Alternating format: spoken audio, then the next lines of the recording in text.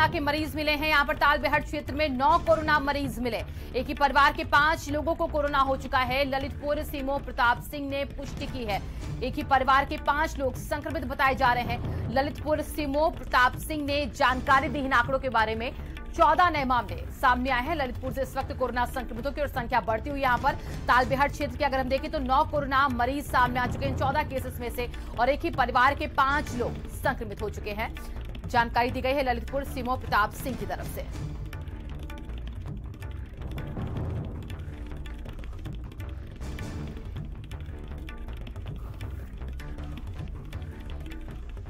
हमारे साथ तीन अलग अलग जगह से संवाददाता जुड़ चुके हैं। अलीगढ़ से हमारे साथ मुकेश जुड़े हैं, झांसी से एस झा और लखनऊ से हमारे संवाददाता संजय जुड़े हैं। सबसे पहले अलीगढ़ का ही रुख करेंगे। मुकेश, अलीगढ़ में 24 घंटे कैसे बीते?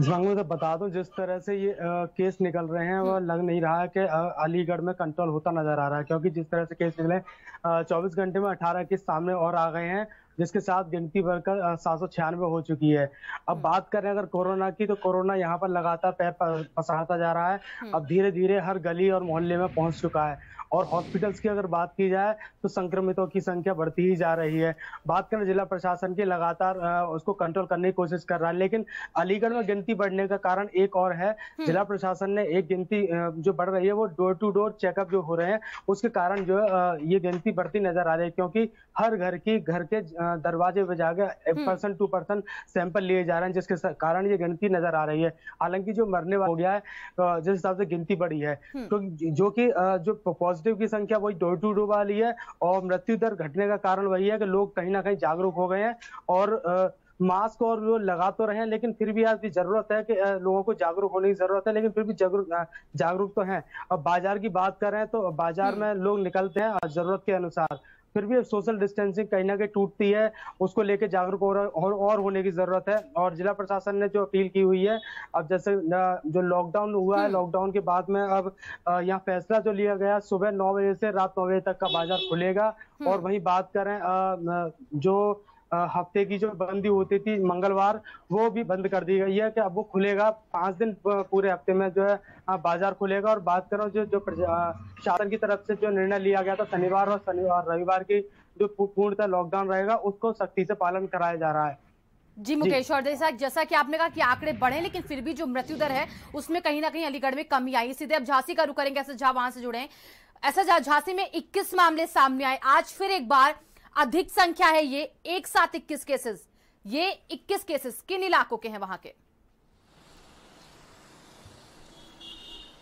देखिए झांसी की बात करें झांसी में इक्कीस जो मामले आए हैं शहर कोतवाली थाना क्षेत्र के हम्म। इसी क्षेत्र में अधिकतर निकल रहे हैं जबकि प्रशासन की बात करते प्रशासन हर रोज की तरफ़ लोगों से अपील कर रहा है लोग अपने घरों में रहें सोशल डिस्टेंस का पालन करें लेकिन यहाँ ऐसा कुछ देखा नहीं जा रहा है हम्म। लेकिन जिस तरीके से प्रशासन की हवा हवाई जो हवा निकल गई है जिस तरीके हम्म। वादे किया था कि तमाम तमाम लोगों को हम इस तरीके से सोशल डिस्टेंस का पालन कराएँगे मास्क लगवाएँगे ऐसा झांसी में नहीं देखा जा रहा है लेकिन आज झांसी कमिश्नर ने साढ़े बजे बैठक लेंगे सभी झांसी के डॉक्टरों से बातचीत करेंगे।